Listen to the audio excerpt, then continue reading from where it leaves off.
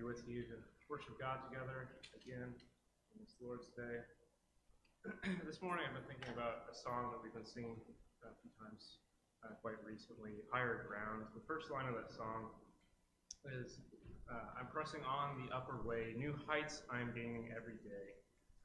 And if you're like me, to be honest, there's a lot of times where I feel like, well, I'm not, I don't feel like I'm gaining new heights each day. I don't feel like I'm reaching new levels of maturity or uh, deepening my faith each and every day. There are days you have bad days. Um, and there are things about that song that challenge me, and I think that's one thing um, about our worship as well. That we do, we come here to worship God and to remember His Son by taking the Lord's Supper. Um, but there is an aspect of worship that can challenge us, and that's really why we study the Bible together, um, so that we can uh, challenge ourselves to excel still more in our faith, in our service, in our love for each other, and in our devotion to God. And I encourage you to look for that as we study the Bible together this morning, as we praise our Father in heaven, and as we seek to um, achieve new heights in our worship and in our love for God together. We'll be led in an opening prayer. Let's bow together. Our Father in heaven, we come before you this morning praising you for um, all that you are and for the great blessings that you give us. We thank you so much that we can assemble here together for this blessing of, of fellowship and that we can join together and worship to you this morning to give you um, just a portion of the praise and the honor that you deserve as our God. Thank you this morning um, for the many blessings you give us. We thank you for Jesus, and as we remember him this morning um, in our in our Lord's Supper portion, we uh, we pray that we would focus on him, and as we do every week, that we would uh, think about the life that he lived and the death that he died, that ultimately gives us hope uh, of being with you, of eternal fellowship with you. We pray that our worship would be acceptable in your sight this morning. And we pray that we would um, be wholly devoted uh, in this, this hour of worship to you. It's in Jesus' name we pray. Amen.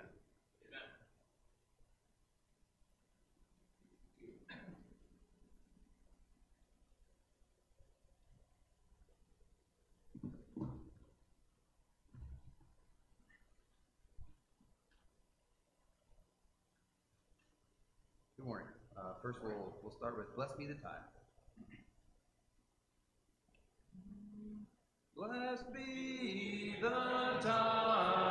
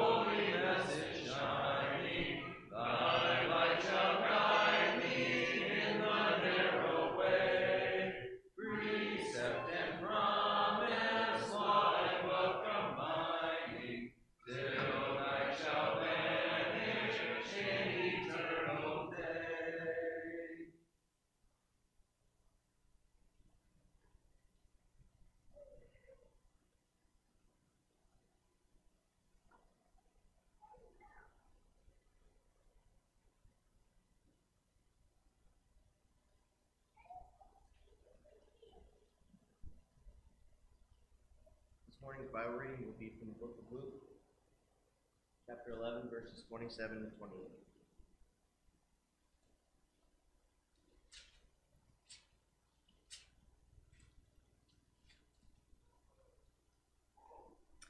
While Jesus was saying these things, one of the women in the crowd raised her voice and said to him, Blessed is the womb that bore you, and the breast at which you nursed. But he said, On the contrary, blessed are those who hear the word of God and observe it.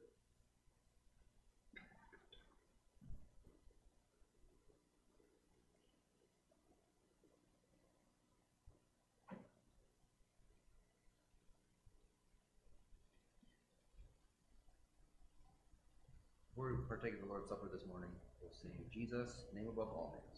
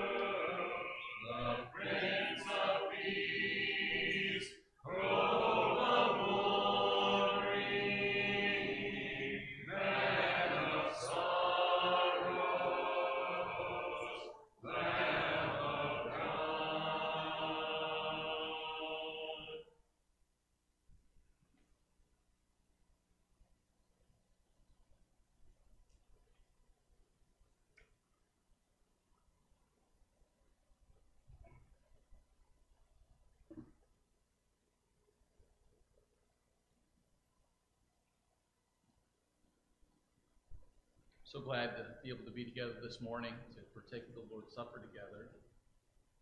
As we do this, we all know that there are millions of people today who are gathered in cathedrals and chapels and in church buildings all over the world uh, to celebrate the birth of Jesus.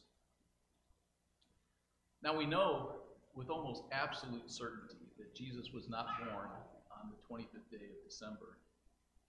We also know that nowhere in the Bible does it uh, instruct us to have some kind of annual celebration of his birth. But that said, I still find it gratifying to know that we live in a world where there are so many people that at least acknowledge the singularly momentous event that Jesus' birth was.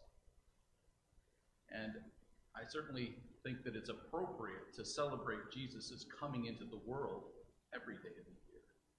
So that can be a good thing. And uh, it was a joyous occasion. The angel of the Lord proclaimed the good news of great joy for all people. And the shepherds and the wise men and devout Simeon and Anna, they all celebrated the birth of Jesus and rejoiced over it. Um, all births are happy occasions, but this birth was extra special. So and it was so worthy of celebration because of what the angel said on the night that Jesus was born. It says in Luke 2:11, "For today in the city of David there has been born for you a Savior who is Christ the Lord. Jesus was born to be our Savior, and that's why we celebrate him. Um, but what made Jesus our Savior and Savior of the world was not his birth. As singularly amazing as that birth was, God become flesh, Emmanuel, God with us. That's not what made him our Savior. Our Savior is forever linked to his death. Because it's through that ultimate demonstration that that love that he atoned for our sins. and though he was completely innocent and pure, just like he was when he was born, now 30 some odd years later, when he goes to the cross, he still is innocent and pure and without sin. But he took on the sins of the world and gave himself in our place. He became, uh, the Hebrew writer says, the author of our salvation. So while the world may uh, choose to celebrate Jesus' birth, we're gathered today to remember his death, to honor and reverence him in the way that he asks us to by partaking of these emblems, bread and wine, that represent his body and his blood. And in our own way, we are celebrating our salvation and proclaiming his death until he comes again. And while our service may be uh, less uh, festive than some uh, who are emphasizing Christ's birth, I'm reminded of what Solomon says in Ecclesiastes 3. It's better to go to the house of mourning than it is to go to the house of feasting. Because it's in these somber reflections where we consider Jesus' death, we come to understand the cost of our salvation. And we recognize our own accountability for the suffering that he endured for us. And that should strengthen our faith and our resolve to live faithfully and to somehow seek to be worthy of that great sacrifice. I'll ask you to bow as we pray for the bread. Lord God, we give thanks for our Savior Jesus, who did what no one else could do. He atoned for our sins by taking the punishment that we all deserve. He died that we might live. And we just thank you for sending him to be our Savior. We thank our Savior for giving his body on the cross. May we honor him as we partake of this bread. Jesus' name.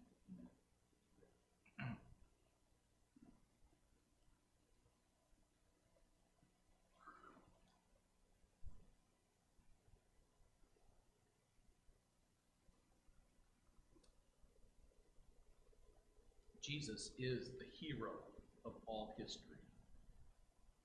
He's the hero of all who seek deliverance from Satan and from sin. He's my hero. He's your hero for all eternity. He will be. And I'd like to read a few verses from Hebrews chapter 2 that just emphasize this so well. It says, But we do see him who was made a little lower than the angels, namely Jesus, because of the suffering of death, crowned with glory and honor, so that by the grace of God he might taste death for everyone. For it was fitting for him, from whom are all things, and through whom are all things, in bringing many sons to glory, to perfect the author of their salvation through sufferings. For both he who sanctifies and those who are sanctified are all from one Father. For this reason, he is not ashamed to call them brethren, saying, I will proclaim your name to my brethren, and in the midst of con- the congregation, I will sing. Let's bow again. Father, we thank you for the salvation that Jesus brought into the world. He is the author of our salvation. Everything begins and ends with him. He tasted death and shed his precious blood on the cross so that we might be cleansed. And so we proclaim his name to our brethren. In the midst of the congregation, we sing praises to you. In Jesus' name, amen.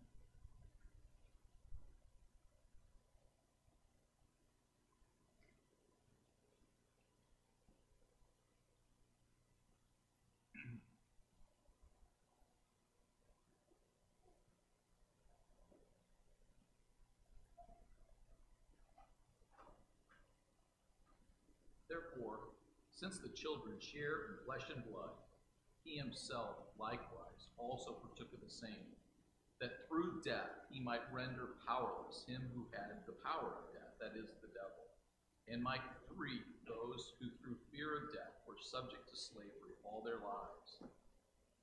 For assuredly he does not give help to angels, but he gives help to the descendants of Abraham. Therefore he had to be made like him, his brethren, in all things, so that he might become a merciful and faithful high priest in things pertaining to God, to make atonement for the sins of the people. For since he himself was tempted in that which he suffered, he is able to come to the aid of those who are tempted. I said earlier that Jesus is our hero. I don't know if we, we think of him as our Savior, but I'd like for us to think of him in, in, in that regard, that he is the hero. He delivered us, he saved us, but he came to our rescue. And I look the way this passage states it. he came to free those who, through fear of death, were subject to slavery all their days. And the passage also mentions that he's not ashamed to call us brethren. He is like our older brother, our big brother, who comes and saves us.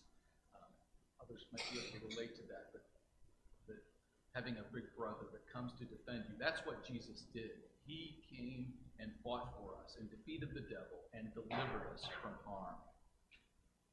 And he come and it doesn't stop. It says he comes to our aid when we are in need. That's our Savior. That's uh, Jesus, who is our hero. Let's bow one last time. Our God and our Father, we thank you for Jesus one more time. We're thankful that uh, he delivered us. We live in anticipation of his return. We long to see him in the clouds, returning uh, to deliver us uh, and bring us into your abode for all eternity. We're so thankful for him. We offer this prayer in his name. Amen.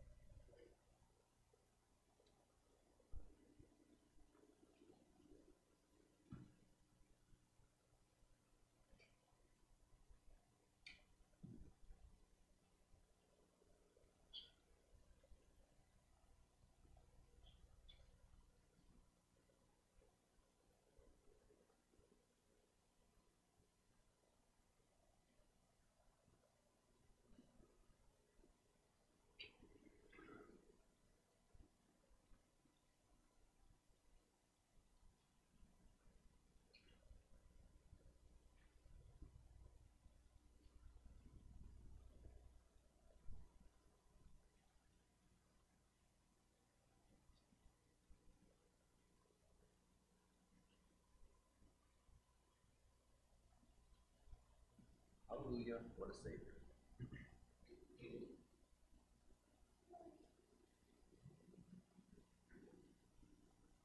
And of song.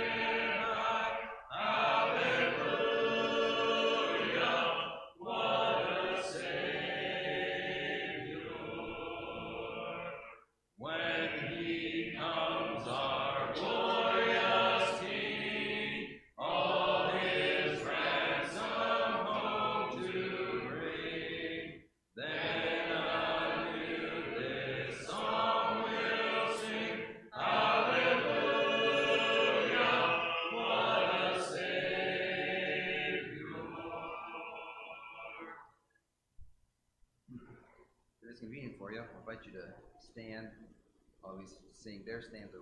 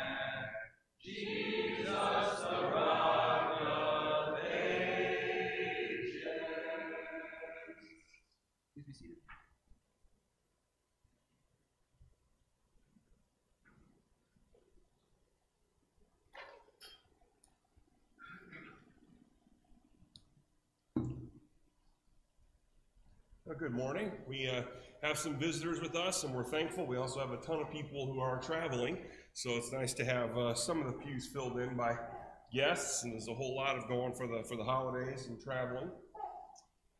Appreciate the songs that Maverick led. He led two of what our brethren have polled collectively suggested are two of the best hymns in all of, of. in uh, Hallelujah, What a Savior, and uh, Give Me the Bible. And so those were two fantastic songs for us to be thinking about here this morning. When it comes to our prayers, there's a list of things that might sound familiar to you when it comes to things that we're thankful for. We pray for things like our family, our home, our friends, our job, the country we live in, the medical advances we've got, the food, material blessings, recreational activities. All of these things are, are, are things that I think we pray uh, and are grateful for, and rightly so. We're thankful for those kind of blessings.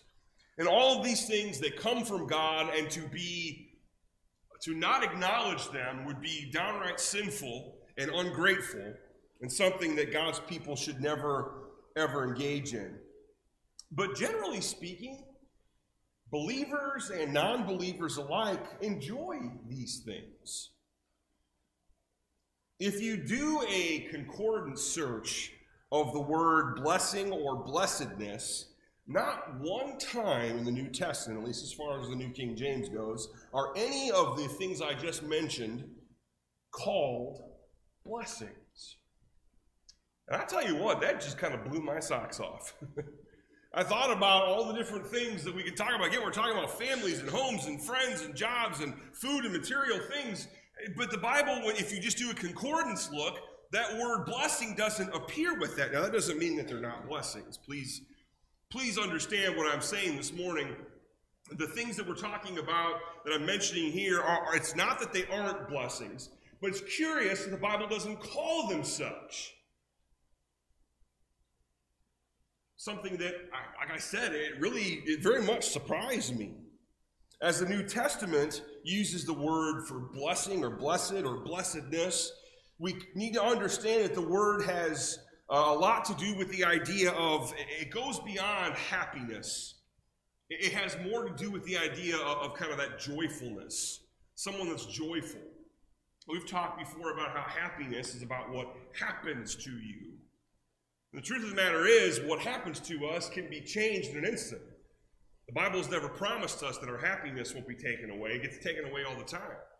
You're, you're walking up your stairs today, about ready to open some presents, and you slip and fall and bounce your head off the, the stairs. Suddenly, what's happened to you isn't all that great. Suddenly, you got a bloody nose or teeth or something. You know, that can change in an instant. Whereas joy we know Jesus tells the disciples, Your joy I'm giving you can never be taken away from you. Joy is that, that mental assent, that understanding of the truth about who God is, about what He's done for us. The very thing that the Bible tells us that Jesus, for the joy set before Him, He endured the cross and despised the shame. Jesus had joy while on the cross. So we're talking about something that goes beyond just how I feel. Blessings are more than just good stuff that happens to us.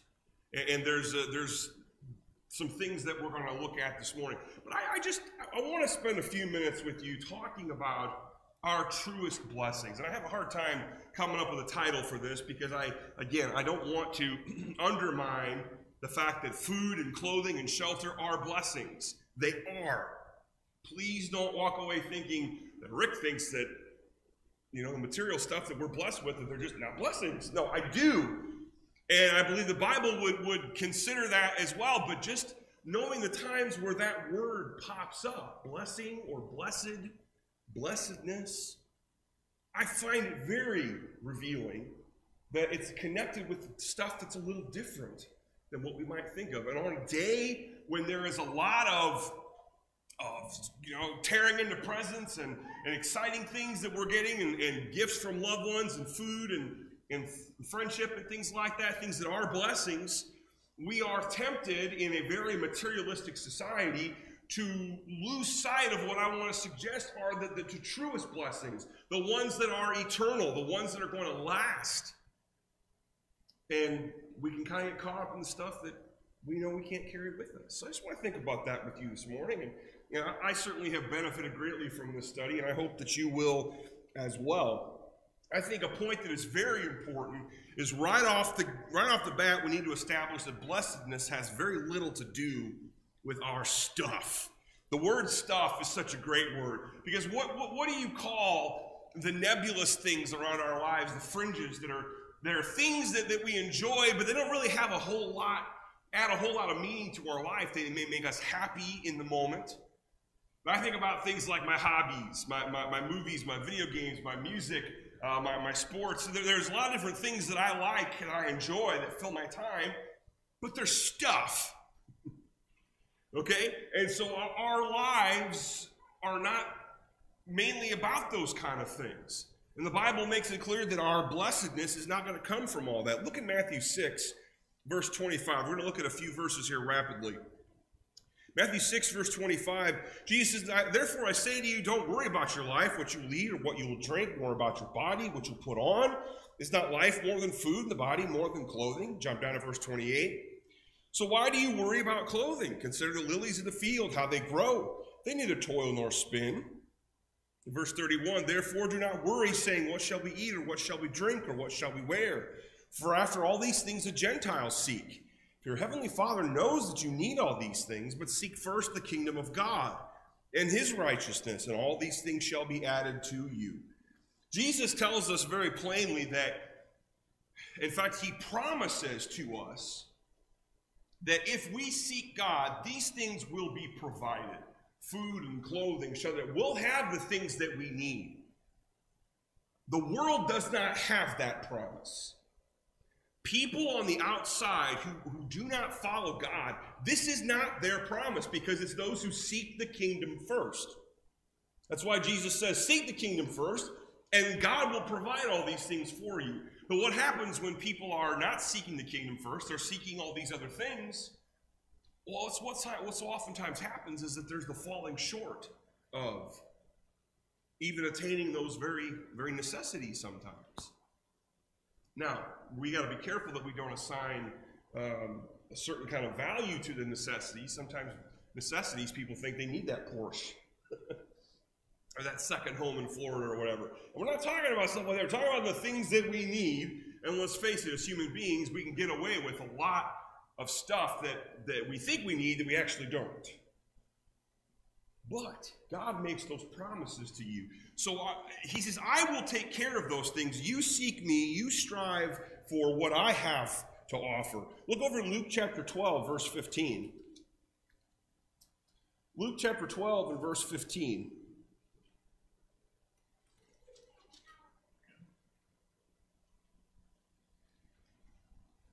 And he said to them, Take heed and beware of covetousness, for one's life does not consist in the abundance of the things that he possesses.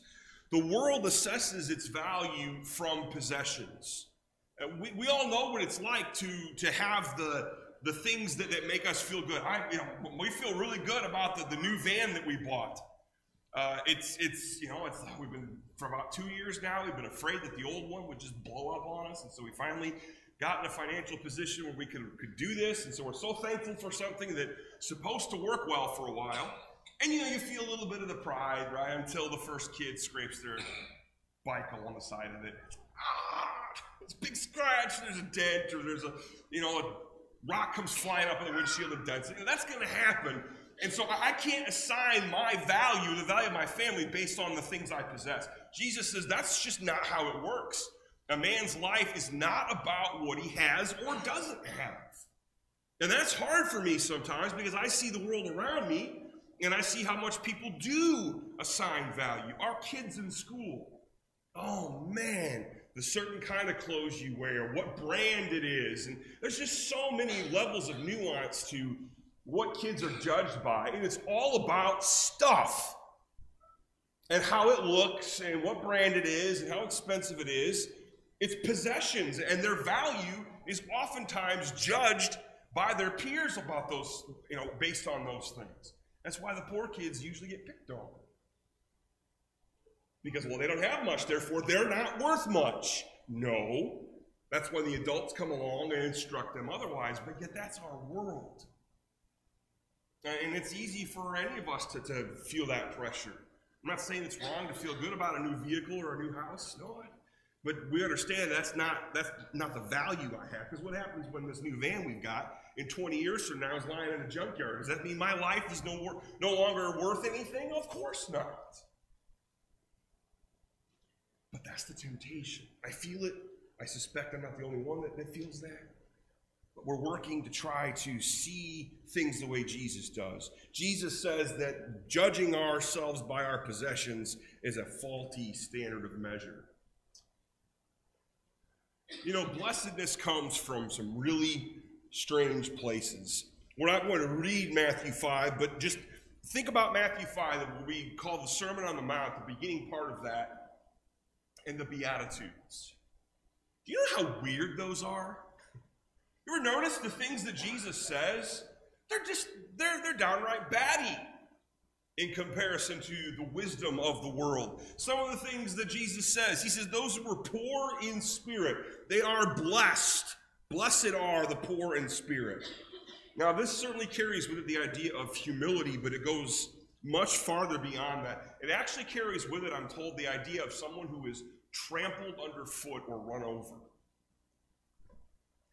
I love the story A Christmas Carol. I, it's only about a three hour read. I encourage you to do it. It's fun. I love it. It gets me in, in the heart feels every time. It always brings a little tear to my eye. I love the story of, of redemption, right? I mean, redemption is kind of what we're all about. And the person that comes to my mind when I think about poor in spirits, old Bob Cratchit and his family. the man who is constantly being trampled underfoot by his super rich boss and, and the rich culture and society that he's in. Him and his family, they're, they're stepped on, they're, they're ignored, but they're happy. They're happy with each other. They're happy with the smallest of things because they're together and, and they're thankful to God. That's the poor in spirit. People who are, are trampled underfoot by others and still have that sense of gratitude. They're not angry and upset. They're not uh, discontented. Jesus says those that's where blessedness is found, being poor in spirit. What? How about the those who mourn? Randy mentioned it earlier, but it's exactly right. What I was thinking about with this point is better to go to the house of mourning, the house of feasting. The house of mourning is a place where we all have the chance to consider our mortality, where we all have the chance to recognize that the reason people die is because of sin. You and I have got to be reminded of that. How often we forget. How often the world forgets. We become so accustomed to death that we forget we were not made to die. Do you know that? Do, do we understand that? You were not made to die. You were made to live. We die because we brought sin into the world and ignored God's commandments. And so now all flesh dies. But that is not what we had in the beginning. You and I were made to live in fellowship with God peacefully without sin and death. Well, we, we changed that big time with the terrible choices we've made. And so we when we come and we see death, it ought to be a reminder, whether it's something as small as the death of a pet, all the way up to the death of a human being, death was not a part of the world God first made. It's certainly not the way it is now. And so it's a chance to teach and educate. Oh, we were, we've lost this, this thing, this creature that we love so much. And we see what it does to his body, and oh, that's so horrible. That's right. How about what it does to a human being? Death is this, this evil, invasive thing that is unnatural. People talk about, oh, death's a part of the natural process. No, it's not. Death is unnatural. And so we mourn because we recognize that sin is the reason these things happen. And so for those of us who, who mourn and, and recognize what sin has done, Jesus says, You're blessed. What? Oh, people these days, they'd just rather close our eyes and say, No, these things are, are totally antithetical to happiness. But that's not what God says. How about the meek? If you ever have a hard time defining meek as I have, I'll I'll share with you the definition that a preacher gave me once that's always stuck. He said, Think of a bridled horse. Think about this creature that is many times more powerful than you are, that allows you to put a bit in its mouth, saddle it up, and ride it, and tell it where you want it to carry you. Now, at any moment, that animal could buck you off, trample all over, and kill you, but it doesn't. Its strength is reserved, it's, it's, it's meek. It has taken in its strength and harnessed it and basically given it to you. That's the idea of meekness. For, for any rights, you think about, well, what kind of strength can we be talking about here? Well, I mean, some of us may be physically more strong than others, but there are often legal, legal matters and rights and privileges. There are things that we do have that we have to make a decision are we going to, to use those or not? And meekness says that I have the ability to enforce my will upon somebody or to do something, but I don't do that in a culture that is obsessed with our rights. The Christian bows and says, I will show you that preference. It's hard.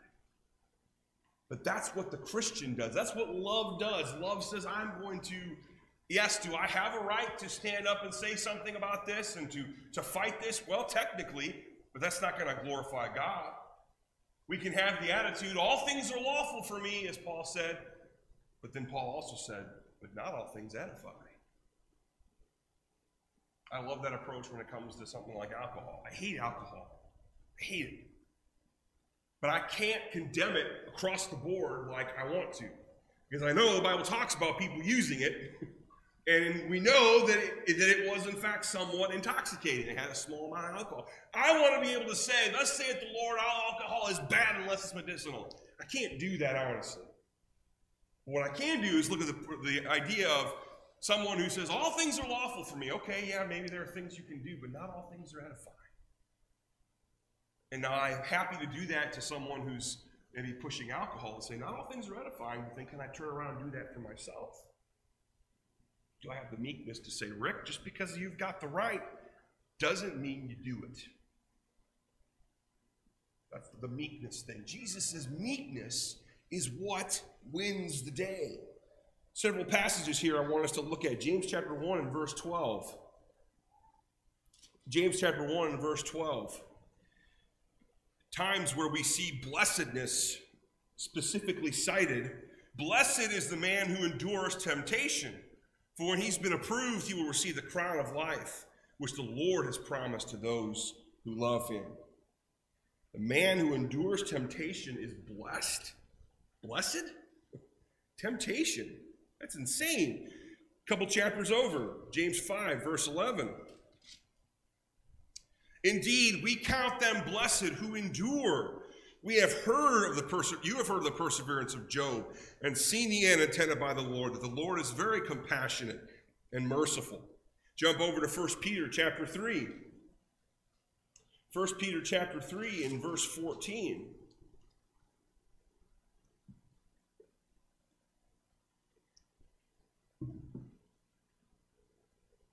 But even if you should suffer for righteousness' sake, you are blessed. And do not be afraid of their threats, nor be troubled. Uh, chapter 4, verse 14. If you are reproached for the name of Christ, blessed are you, for the Spirit of, of glory and of God rests upon you. On their part, he's blasphemed, but on your part, he is glorified. And we could probably find other passages that say some of these things, but the idea of temptation and trials, that these things are, are meant to, to, we're to see these as blessings, things, things that make us blessed. What? How is that possible? Well, for starters, it, it requires a shift in our paradigm, doesn't it?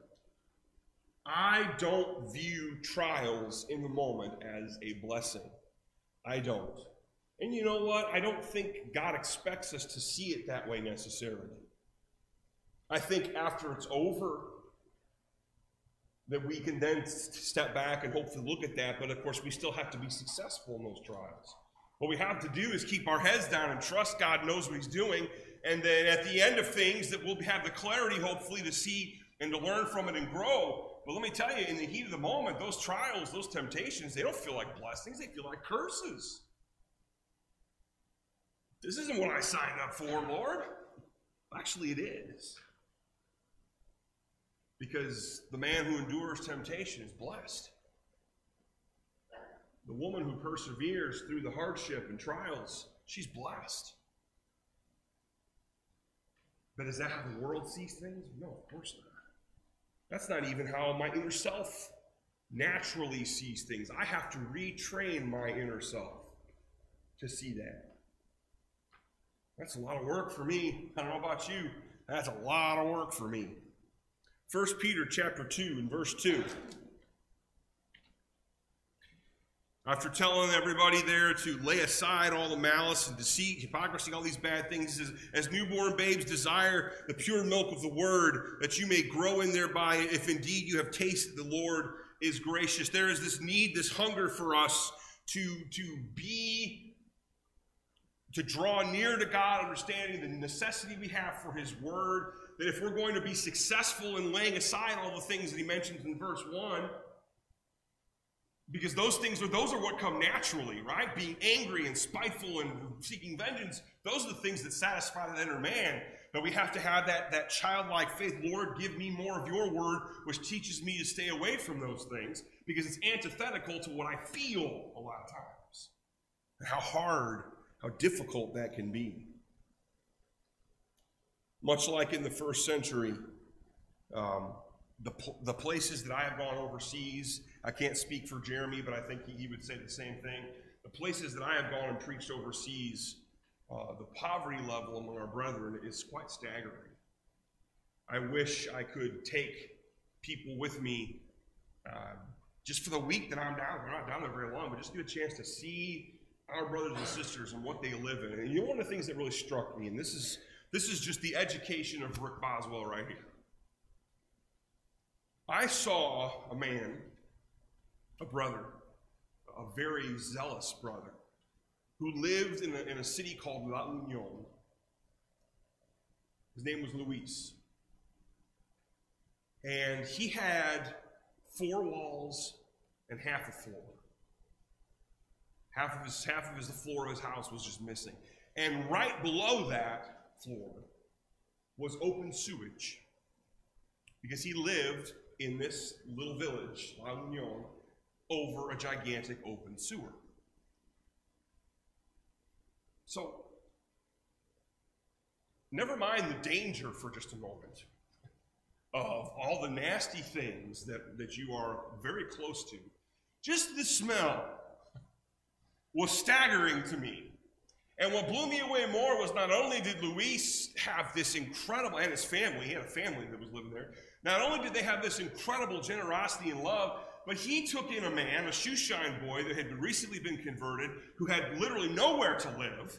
And so he was living with Luis, and this guy felt like he was on cloud nine. I recognized these people, they were blessed. They said they were blessed. They knew they were blessed. They felt they were blessed. And it finally dawned on me well, if, if I'm blessed and I have everything, and they're blessed and they have nothing, well, blessing must have something to do with other than stuff. Which kind of goes back to that first point.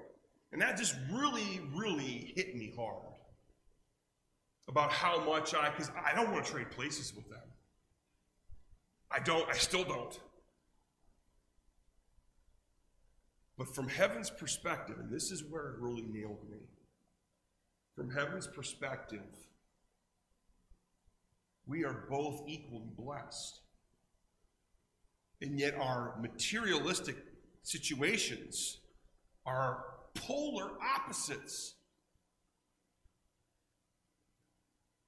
And I, just, I stepped back and I thought, my, my standard of looking at all this is just wrong.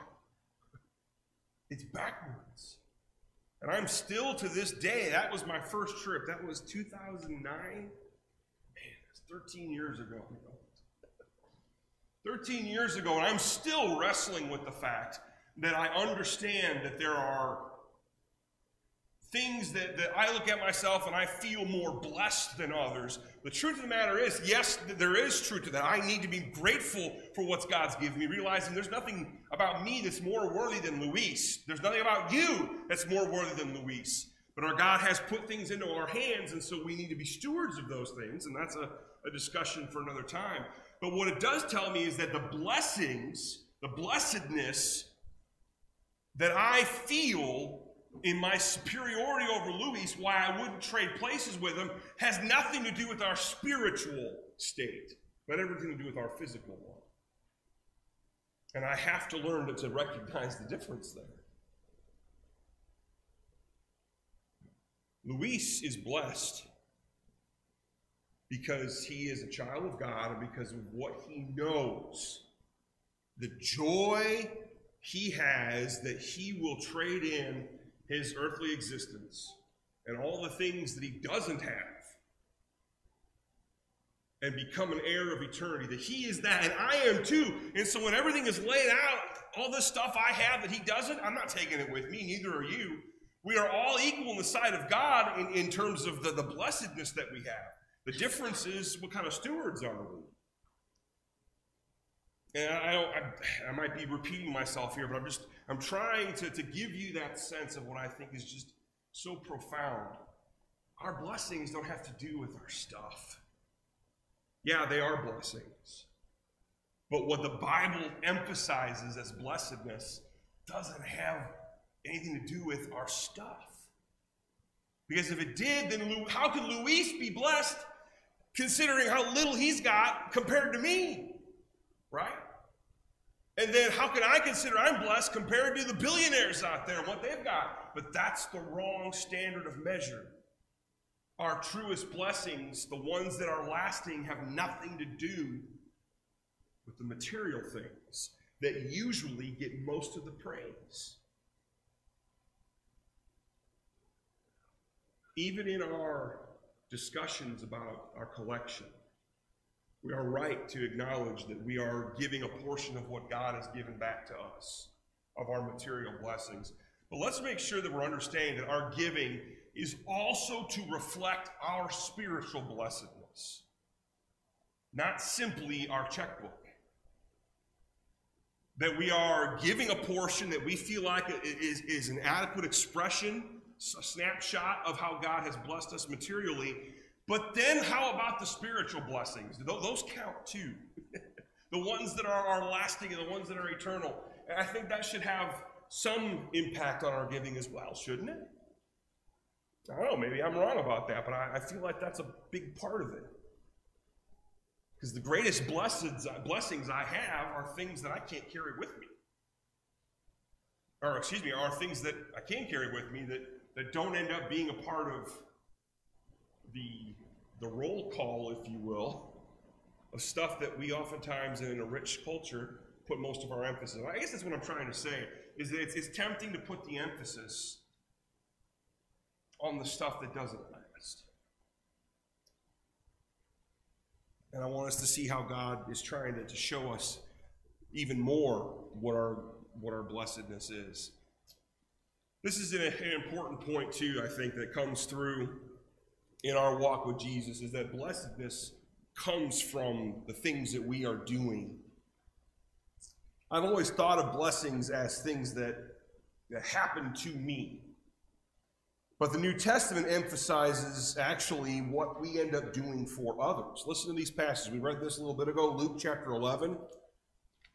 Jesus in his ministry and the, the praise that was being heaped upon him, Luke chapter 11, verse 27.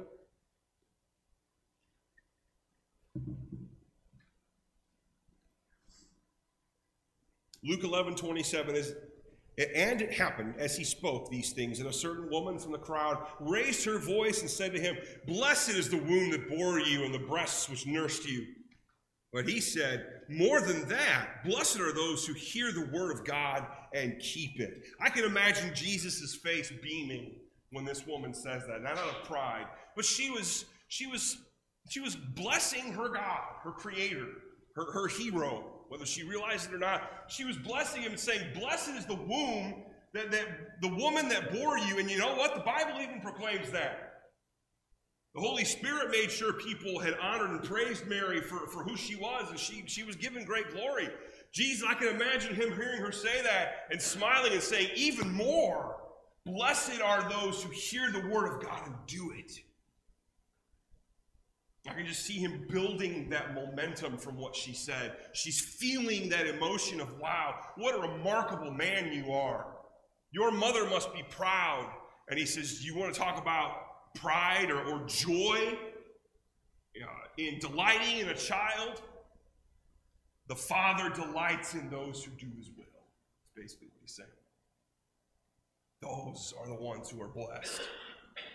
That's where that focus can be. James, uh, excuse me, John chapter 13. John chapter 13, verse 17.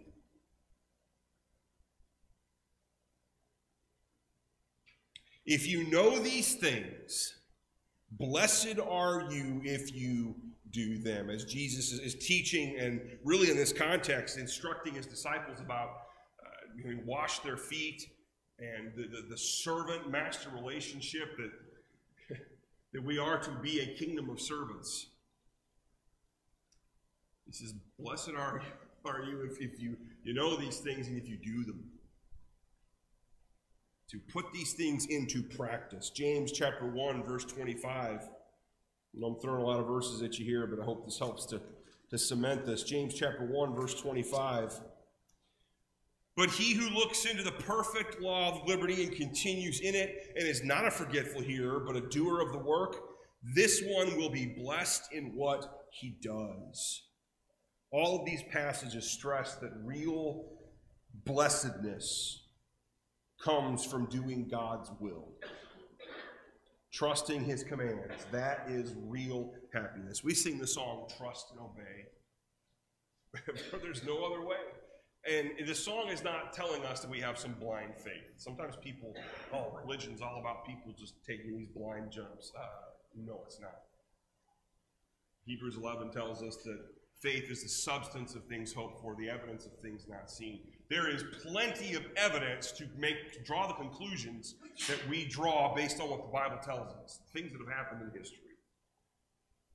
Yes, there is still that the element of faith to that. Absolutely deciding whether or not the, the words that we read and the, the things that we process, whether they are true or not, and deciding that we're going to base our lives on those things, that those blessings have everything to do with trusting that God knows what He's talking about. And kind of a sub point to this is also the idea of us being a blessing to others. Acts chapter 20. Acts chapter 20. Verse 35.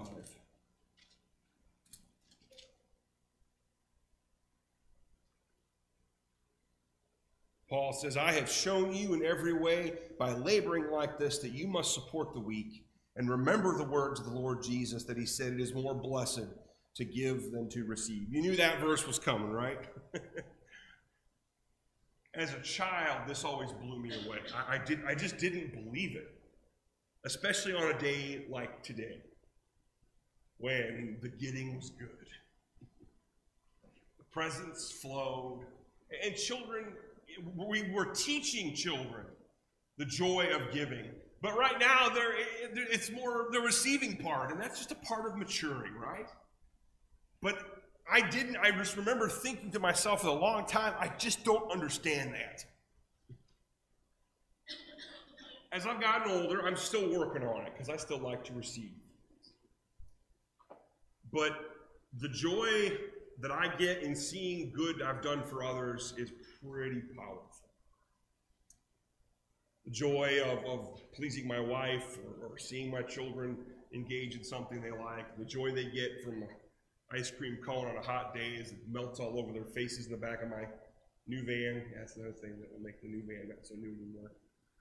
The joy that you see in, in people seeing you, you lift them up and you say something that they've never thought about before. And wow, I really appreciate that, Rick. Those are the kind of things I live for. Being able to see people encouraged and built up. It's what I do, it's why I do what I do. I want to see people getting stronger and better and being encouraged by something that I have helped them to do. And it is truly a food for the soul. But it, it takes some trust, though, doesn't it? It goes against the norm.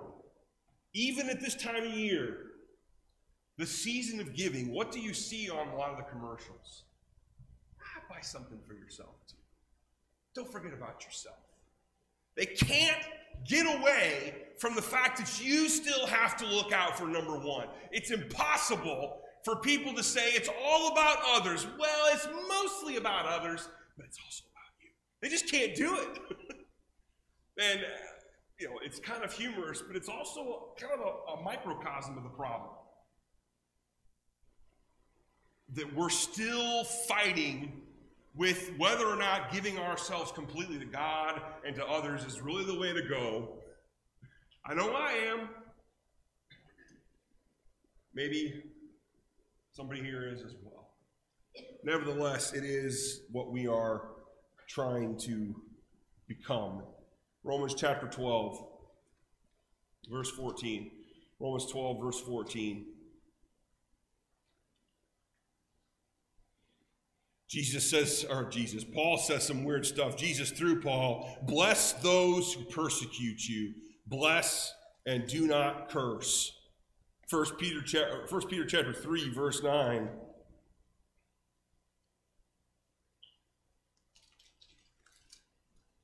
First Peter chapter 3 and verse 9.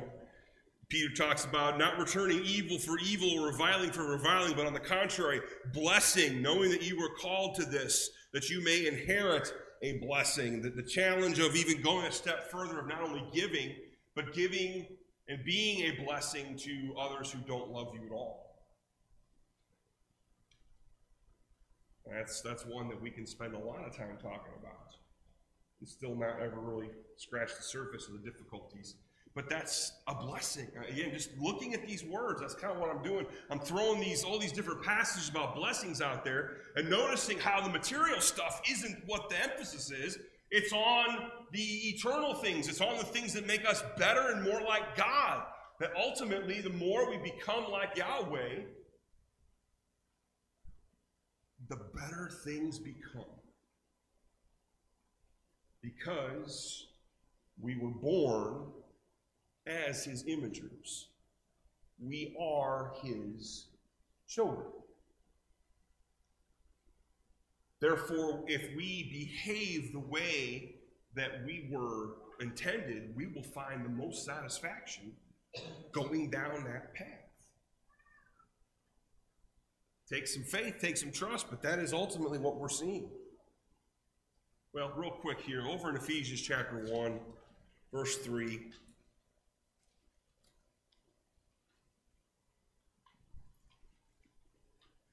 The blessedness, really the thing that sums it all up is what Paul says here in Ephesians chapter 1, verse 3, when he says, Blessed be the God and Father of our Lord Jesus Christ, who has blessed us with every spiritual blessing in the heavenly places in Christ. And he goes on to list a whole bunch of other things that ends up communicating that point. We all recognize that service to God does render material blessings, and it does give us things that, that are good, that make us happy, but that are temporary.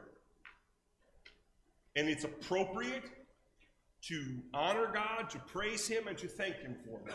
And if we don't, we are thankless and we are going down the road to destruction. Please, please, please don't misunderstand what I'm saying. I've had this happen before with this, this kind of idea where people think I'm just saying the blessings that have to do with physical stuff are not blessings. Of course they are. Be grateful for them, praise God for them, use them wisely. But there are blessings. But I think that there is there are levels to blessings.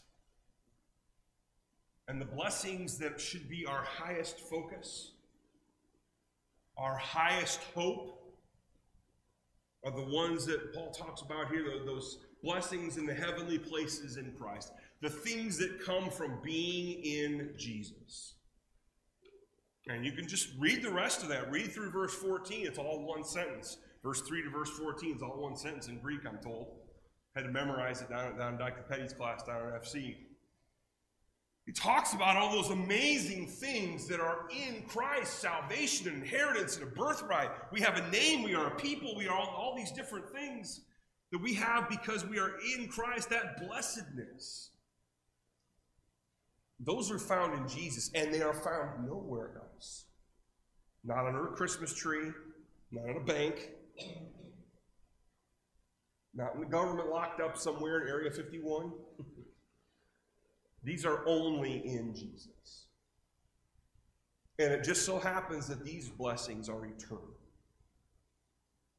They're the ones that will never fail. And so as we think about, can't help but think about this time of year, I, I want us to I want us to be grateful for everything we have been given. Everything to praise God for all blessings, near and far, small and big. But may God help us to see our truest blessings, the ones the Bible talks about, it just it calls a blessing. Giving to others, serving others, being like Jesus, that those things, that eternal inheritance, that's what our highest blessings are. And let's make sure that if those highest blessings are truly of the weight and value that we we place on them, that we praise him for such. Because I don't know about you, but I just can't thank God enough for my hero, as Randy was saying. I like to think of Jesus as my champion champion, the one who has done everything. Randy was mentioning in Hebrews that Jesus becoming the author. If I'm not mistaken, that word is literally a trailblazer. Jesus blazed the trail for us to get back to where we're supposed to be. That is worthy of more praise than I can ever shower upon him. So let's make sure in a season where we're, we're mindful of blessings and time with family and friends, things that are, are truly gifts from God. Let's make sure that the highest blessings, eternal life with Him, that those are at the very top of our thank you list. And that we don't get caught up in the stuff that doesn't last too much. you have the opportunity this morning to put on Jesus Christ, to be baptized into Him, and to make yourself an heir of those eternal, everlasting blessings that we were talking about a second ago. Do you understand that you're a sinner? Do you believe that Jesus is the Christ, the Son of the living God? Are you willing to confess that before men? Are you ready to repent and say, I'm turning away from the life of sin? I know I've done wrong. I don't want to do this anymore. I've tried it my way. Now I'm going to try it God's way then you're ready to be immersed in the watery grave of baptism, have your sins washed away. We are ready to help you. Are you ready to have your sins forgiven? If, as a Christian, there's something that you're struggling with, something that is, is a, a, uh, uh, a trial for you, troublesome, maybe sin in your life, or the consequences of the sin in other people's lives affecting you, then we will pray for you, we'll encourage you. Or if you just need help focusing a little bit more on the, the highest and truest blessings, and we'll encourage you and, and walk with you in that too. Let us know what you need. Come forward one of these front pews as we stand and sing.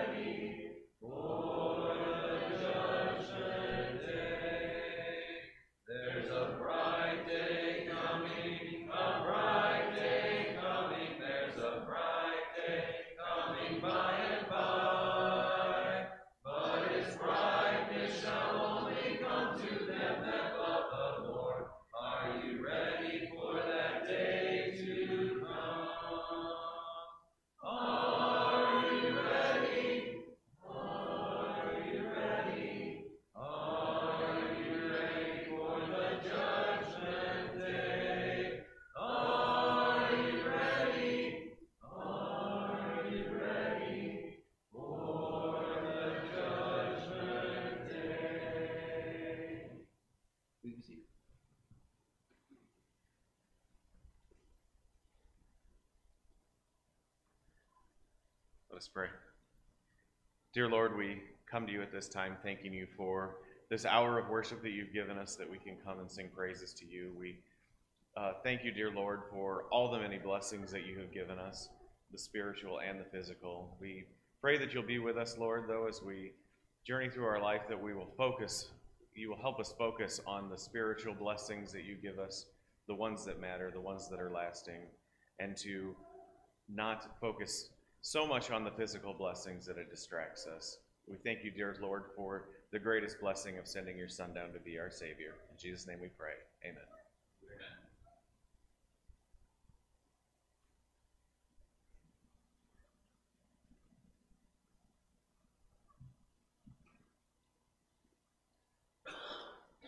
Each Lord's Day, we present an offering to God, and it's part of our group participation as we seek to uh, support uh, the growth of the kingdom in this area in Portage, and then also to help others across the world as there are special needs. Um, this is the work of this uh, local congregation, so if you're visiting with us this morning, we want you to know you're under no obligation or even expectation to give. We don't pass the plate here uh, since not COVID, but we have plates that are at the doors, and those are for our members. If you do, as a visitor, choose to give, just know that we'll use that in a way that's in keeping with what the Bible says and in a way that helps grow the kingdom. My comments before uh, we give our offering today are kind of in line with what uh, Rick said, just a really excellent message. It Reminds us of what our true blessings are. Uh, in Luke chapter 12, Jesus says this to his disciples Do not be afraid, little flock, for your Father has gladly chosen to give you the kingdom. Sell your possessions and give to charity. Make yourself purses which do not wear out, an unfailing treasure in heaven, where no thief comes near nor moth destroys. For where your treasure is, there will your heart be also. How many of y'all have a wallet or a purse with you today? Nobody, huh? okay. Uh, I have mine with me. I imagine uh, most, maybe some of you might have gotten a new wallet or a purse for uh, the holiday, but uh, it's usually something that we all carry, and they're all probably different. I know Kurt has a really cool one. Is so teeny tiny. He's a he's a minimalist, and those are becoming popular. I think you have those. Um, others have like walking stores. I know moms are great about this. You know, you, anything you need, you just ask mom, and it's in there. Some keep it nice and neat. Others, it's a mess. It's bulging. Uh, where we carry them, some women carry them on their arms, or uh, men in their back pocket. I'm a front pocket guy because I'm afraid I'll lose mine. Uh, I know losing your wallet can be a traumatic thing. Julian lost his this last school year, and it was a near disaster. um, Wallets are highly specialized and personalized, but one thing they all have in common is that generally over time they wear out. I, know I can use a new one. I, I didn't get one this year, but mine is really falling apart. Um, I want to get to where I can be like Kurt and just have like three things in it. But um, in this passage, Jesus mentions something that's really amazing, and that is a wallet or purse that never wears out. And uh, that's uh, something that can't be lost or stolen uh, or destroyed. Wouldn't it be great to have something like that? Of course, Jesus is not talking about a physical purse. He's talking about uh, something spiritual, a heavenly account of for all of our faithfulness and good works. And he refers to an unfailing treasure in heaven, and that is not material. Those are all those spiritual blessings. It's love and joy and peace and fellowship with God and with his people and forgiveness and living a life of hope and joy. Those are things that you can't put in a wallet.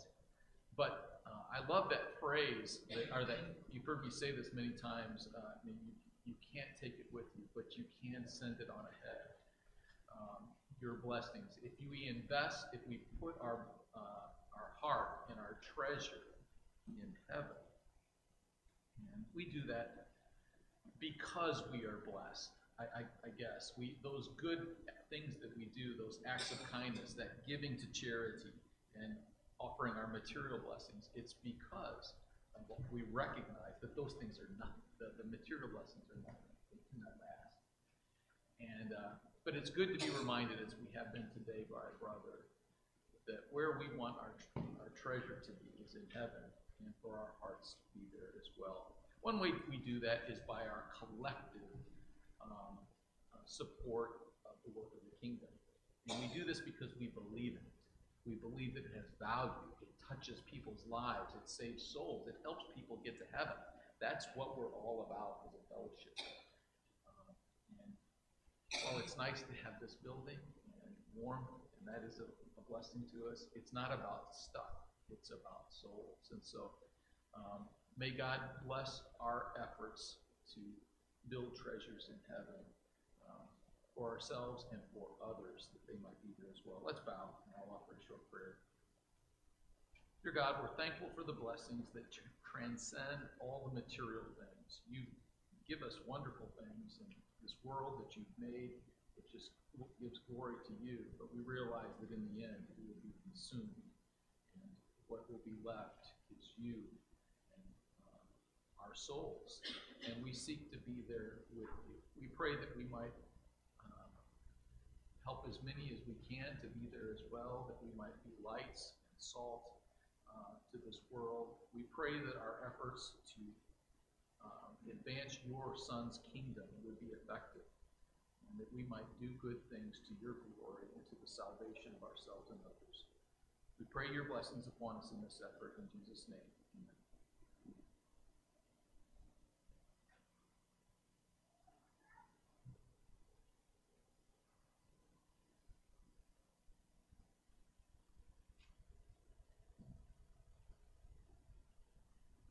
Final song morning will be He's My King.